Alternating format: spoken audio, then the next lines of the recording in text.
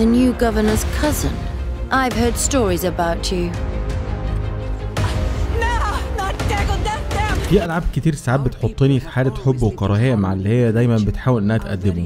ويمكن ده حصل معايا السنة اللي فاتت مع لعبة Kingdom Come Deliverance وده لما تلاقي لعبة بتحاول إنها تقدم شيء ما تقدرش تنكر قد إيه هو جيد أو ممتاز لكن تلاقي في مقابله عيوب كتيرة جدا تعكر صفو تجربتك وتخليك تسأل أسئلة عن أسباب وجود المشاكل دي أو تتخيل لو ما كانتش المشاكل دي موجودة من الأساس.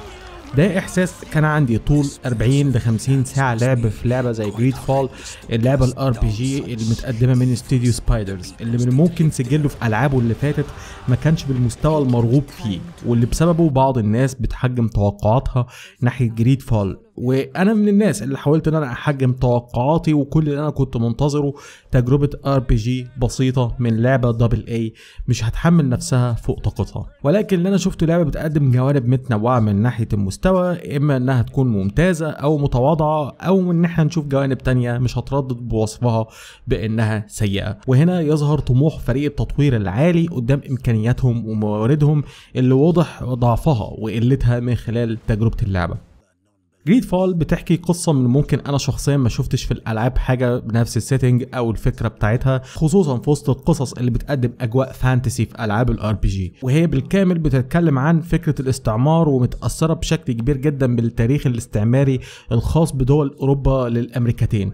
وتعامل الدول المستعمرة دي مع السكان الأصليين تحديدا. فاللعبة باختياراتها وبأحداثها اللي بتجمع ما بين الدبلوماسية أو ساعات استخدام العنف بتحطك في دور شخص بيتنادى طول اللعبة باسم De Sardet وهو مبعوث لزي منظمة تجارية ليهم دور كبير في الأحداث والسياسة اللي بتحصل في جزيرة Teer Fradee ودي الجزيرة المستعمرة في اللعبة نفسها. في ثلاث جوانب هبص من خلالهم لقصة GreedFall وهم ال setting أو الأجواء العامة للقصة والجانب الثاني هو الأحداث والثالث هو الشخصيات وخصوصا شخصية بطل اللعبة. الجانب الأول وهو سيتنج اللعبة وصفه بالعبقري كلمة قليلة جدا في نظري.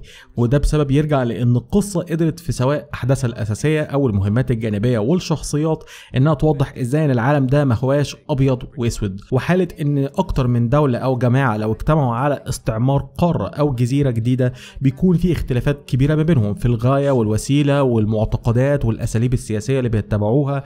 وجانب المستعمرين هنا بيشمل أكتر من جماعة بيمثلوا حالة الاختلافات دي بشكل عظيم. على الجانب الثاني بالنسبة للسكان الأصليين للجزيرة نفس الكلام مع التركيز على معتقداتهم والاختلافات الثقافية بينهم والاختلاف في درجة رغبتهم في التعاون مع الناس اللي جايين يستعمروا جزيرتهم. فالجانب ده تحديدا في القصة كان عظيم وهايل في شكل من أجواء وخيال أصلي في الفكرة ما شفتوش في أي لعبة قبل كده وده لاستعراض ومناقشة أفكار يمكن شفناها كتير وهي ما هياش جديدة. في فكرة بقى الاختلافات اللي بتكون مبنية على أسباب ممكن تكون عرقية أو سياسية. ceia.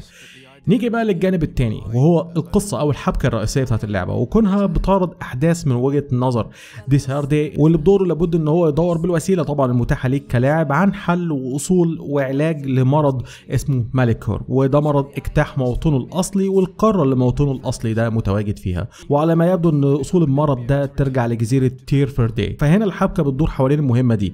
من خلال كم الاختيارات المتاح ليك من تحالفات وتكوين عداوات بينك وبين أطراف مختلفة والاطراف دول مش السكان الأصليين بس إنما الجماعات التابعة للتواجد الاستعماري في الجزيرة. وهنا من ممكن الأحداث الأساسية في اللعبة تظهر بالتذبذبات اللي موجوده من خلالها. لأن على عكس أغلب الألعاب ال RPG اللي بتتفرع ساعات في حبكتها لمواضيع كتيرة جانبية وبيتجمعوا في الآخر في نقط مهمة في الأحداث قصة GreedFall للأسف فيها شوية تشتت يخلي اللي بيلعب يسأل في نصها مثلا هو أنا المفروض بعمل إيه؟ إيه الغرض الأساسي من المهمة اللي في إيدي في وسط الحبكة الرئيسية؟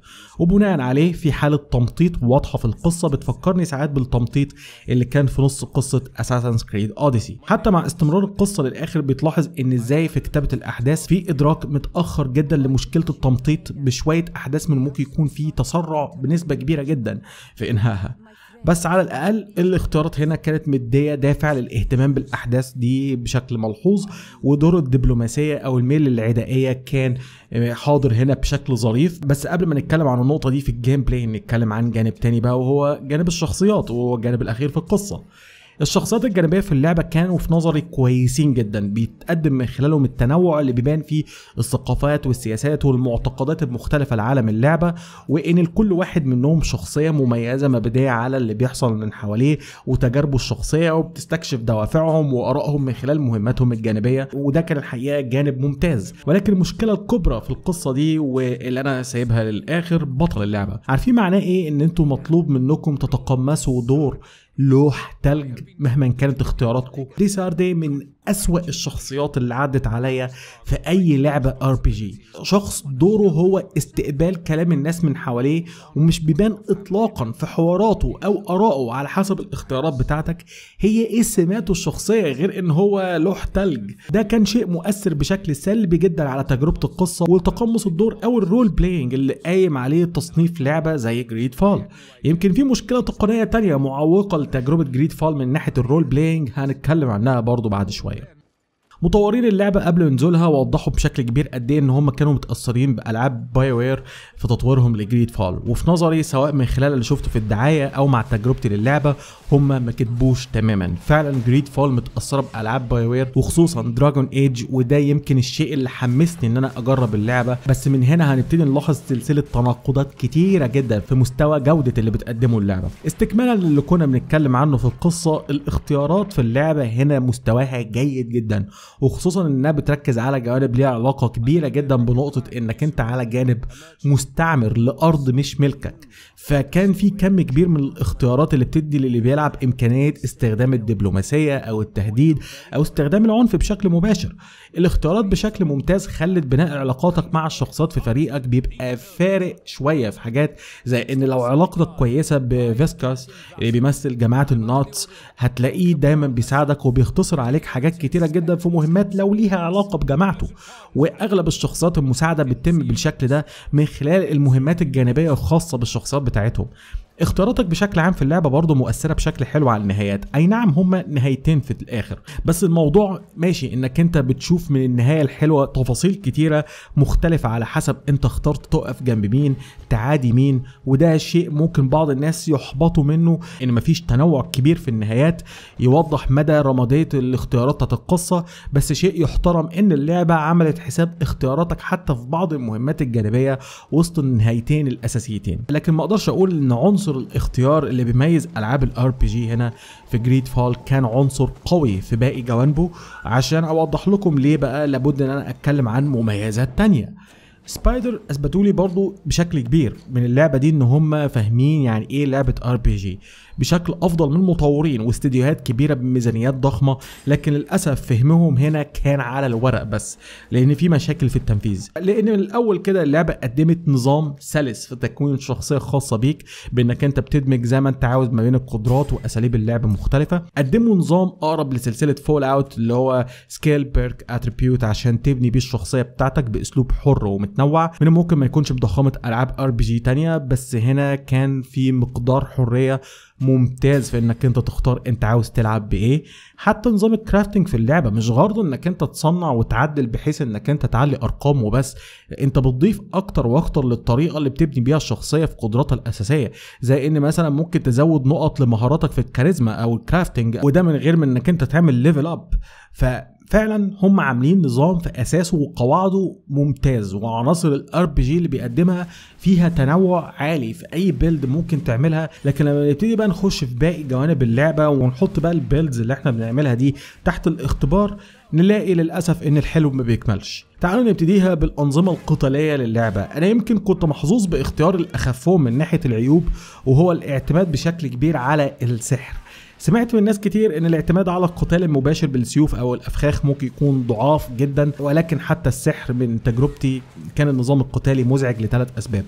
اولا نظام ال lock on السيء هنا اللي مش بيثبت على أي هدف قدامي وساعات بيلغي تحديد الهدف من نفسه وده كان بشكل مزعج أكتر وأكتر. ثانيا الكاميرا. الكاميرا هنا ضعيفة جدا في تتبع الأكشن ومع مشكلة ال lock on بتزود الطينة بلة خصوصا في الأماكن الضيقة الكاميرا هنا بتكون كابوسية. ثالثا الذكاء الاصطناعي ملوش غير كلمة واحدة ضايع بحارب شوية بطاطس. في بعض الأحيان ممكن يوقفوا المواجهة ويرجعوا لأماكنهم تاني ولا كأن حاجة حصلت حتى لو boss fight أو من ممكن هم ما يشوفونيش خالص.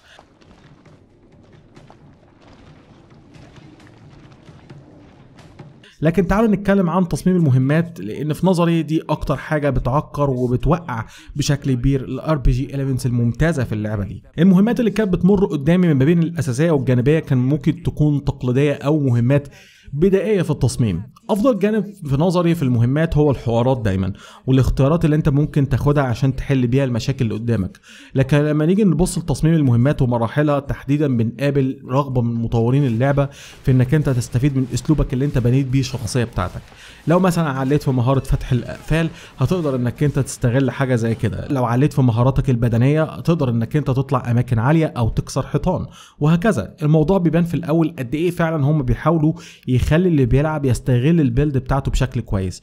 بس للأسف مع الوقت بتبان مشكلتين. المشكلة الأولى هي بدايه تصميم المراحل بشكل ما يكونش فيه استخدام ذكي لعناصر ال RPG اللي معاك. لازم كل مرحلة تلاقي بشكل متوقع فكرة أو فكرتين مرميين بشكل مكرر زي يا إما إنك أنت حيطة عندك تكسرها يا إما باب مقفول تفتحه بال lock picking واللي أنا شايفه كان أفضل في بعض المهمات كون اللعبة بتخليك اختياراتك مع الشخصيات الجانبية واصطحابك ليهم معاك في المهمات ليه تأثير على الحوارات. لكن غير كده تصميم المراحل ممكن يكون تكراري وبدائي. المشكلة الثانية وهي برضو ممكن تكون ليها علاقة بشكل كبير بالمشكلة الأولى. وهي إن في نظري في في بعض الأحيان رغبة إن يكون في عقاب ليا على بعض الاختيارات اللي أنا أخدتها في ال build بتاعتي. يعني أنا على سبيل المثال واحد كنت معتمد بشكل كبير على السحر في ال skills القتالية بتاعتي وال attributes وال perks اللي بتساعد الجانب ده. بالإضافة للتركيز على الكاريزما عشان أقدر أحل بعض المشاكل بالحوارات بشكل فعال. في ألعاب RPG ممكن يكون عدى عليها أكتر من 20 سنة ما خلتش اللي بيلعب يحس إن اختياراته بالتركيز على جانب واحد أو اتنين كان اختيار غير موفق لكن هنا بقى للأسف العكس وهقدم لكم مثال. وده حصل من خلال مهمة كانت قدامي إن أنا عشان أعرف أخرج من منجم من جهة معينة في باب لازم يتفتح ولازم أعمل crafting لدراع حديدي للباب ده عشان يتفتح. المرحلة ما حاولتش إنها تقدم أي شيء أو أي حلول مختلفة أو أي طرق ذكية إن أنا أقدر أستخدم بيها ال build بتاعتي ومفيش أي حل موجود قدامي غير إن أنا أكون مثلا معلي في مهارة زي ال crafting وده بقى يدفعني إن أنا أضرب مشوار لمدينة قريبة عشان أقدر إن أنا أروح ل blacksmith يعمل لي حتة حديدة.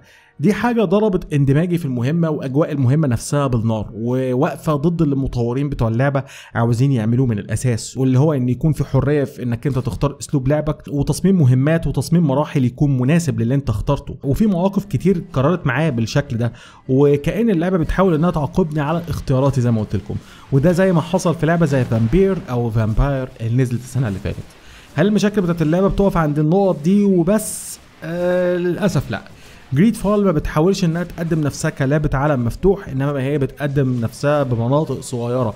في الحجم منفصلين عن بعض. حاجة كده ممكن تفكرنا بلعبة زي دراجون ايدج برضو. أنا بقى مش عارف الهدف بتاع المطورين كان إيه من الأساس لحاجة زي كده بس أنا حاسس إن كان في رغبة لتقديم عالم مفتوح كبير لكن اعتبارات تقنية تم تقسيمه على أكتر من منطقة صغيرة. هنا بقى يا تكرار بيئات ما شفتش زيه في حياتي بدون دافع قوي للاستكشاف. في مناطق تدي إحساس إنها منسوخة كمان من اللي قبلها. ويمكن المدن فيها تفاصيل مختلفة من خلالها بس المشكلة في تصميم الداخلي لبعض المباني. المباني من جوه في كل مدينة شبه بعض بالمسطرة كأن اتعمل لهم copy paste ده غير بقى ال glitchات اللعبة دي مليانة glitchات كتيرة جدا. وخصوصا في تصميم بعض المهمات إن في بعض النقط عشان تخلي المهمة تستمر من خلالها بتلاقي إنها مش شغالة كويس جدا وحصلت معايا أكتر من مرة. ومرتين طول فترة لعبي اضطريت إن أنا أعيد من save file قديم عشان أقدر إن أنا أتفادى glitch عبارة عن إن في شخص مش راضي إن هو يتكلم معايا عشان المهمة إنها تستمر وأقدر إن أنا أخلصها. حاجة زي كده ما كانتش مقبولة على الإطلاق ولقيت إن في ناس برضه بتشتكي منها كتير على الإنترنت. تقنيا Greedfall من ممكن تكون من الألعاب ال double A اللي الواحد ما يستناش منها كتير على جانب ال graphics ده جانب نسبة تواضعه ممكن تكون متوقعه ولكن الواحد يكون على الأقل مستني من اللعبة إنها تكون مقدمة اتجاه فني كويس. تصميم الأماكن في المدن كان بسيط كان عادي جدا. تصميم المناطق البرية على الرغم من تكرارها شديد جدا كان في مناظر ممكن تكون جميلة شوية. تصميم الشخصيات في ما عدا نقطة واحدة بس هنجيلها في ثواني من حيث لبسهم الدروع بتاعتهم. كان كويس تصميم الوحوش كان ممتاز. ولكن بقى في لعبة زي دي مدتها 30 ساعة لعب على الأقل وأنا شخصيا خلصتها ما بين 40 ل 50 ساعة. الموضوع هنا كان مؤلم بشكل مبرح. إن أنا أفضل أشوف التحريك السيء ده لوجوه الشخصيات واللي ساعات منه حركة شفايف بتكون بعيدة تماما عن اللي الشخصيات بيقولوه. وأنا مش بطالب بحركة وجوه آه، تمثل ألعاب triple A بس على الأقل تحريك بسيط ما يكسرش اندماج الواحد مع قصة اللعبة.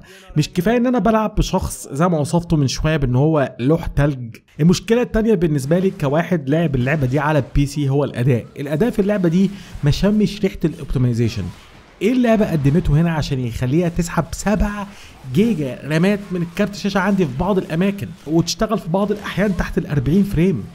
أنا ما أعرفش وضع نسخة ال consoles إيه بس الأداء هنا لا يسر لا عدو ولا حبيب على ال PC. وخصوصا لما بعمل fast travel على مناطق جديدة أو بلف الكاميرا بسرعة بيحصل frame drops بشكل بشع. لكن العكس من حيث الجودة والاهتمام في الأصوات كان من خلال الأداء التمثيلي للشخصيات هنا في اللعبة اللي كان ممتاز ورائع. الاهتمام باللهجات وحتى اللغات الخيالية للسكان الأصليين في مجهود يحترم هنا. حتى ال soundtrack كان برضه فيه ألحان ممكن تكون جميلة شوية خصوصا في تنقلك في المناطق اللي ممكن تكون متشابهة مع بعض والمملة دي. في بداية المراجعة أنا في حاجة قلتها وهي إن Greedfall لعبة حطتني في حالة حب وكراهية مع اللي هي بتحاول إنها تقدمه. اللعبة فيها عالم و lore وصراعات سياسية وقبلية وأفكار RPG ممتازين. ده كله للأسف متغيم عليه بعيوب كتيرة جدا. ومش هتردد للحظة إن أنا أقول إنها كانت على حافة إنها تخليني ما أقدرش أكمل اللعبة. بس ال mindset اللي أنا حطيته لنفسي طول ما أنا بلعب اللعبة هو إن أنا أتعامل معاها على إنها لعبة RPG فوق المتوسطة من منتصف الجيل اللي فات. وحتى برضه لو كانت اللعبة نزلت في نص الجيل اللي فات كانت تعرضت لانتقادات كتيرة جدا. أنا شخصيا محترم جدا طموح ستوديو Spider المطور بتاع اللعبة. محترم أكتر وأكتر فهمهم للجوانب اللي بتقوم عليها أي لعبة RPG لكن للأسف إمكانياتهم واضح جدا إنها ما كانتش مناسبة لتحقيق طموحهم. ودايما أنا بكررها إن أنا بنتظر من أي لعبة double A إنها تكون مش مكلفة ومحملة نفسها فوق طاقتها. وده للأسف حصل عكسه هنا في لعبة زي Greedfall أنا بصراحة بكم المشاكل اللي أنا قابلتها في اللعبة في تصميمها اللي بتأثر بشكل كبير جدا على استمتاعي بيها وجوانبها التقنية والجودة العامة ليها تخليني بصعوبة إن أنا أقترحها والأصح في نظري تأجيلها لحد لما على الأقل تاخد مجموعة ابديتس تحسن الجوانب اللي ينفع إنها تتحسن. مع إن برضه في الحالة دي اقتراحها هيفضل بالنسبة لي صعب شوية إلا بقى لو حد حب يتعامل معاها على انها لعبة قديمة.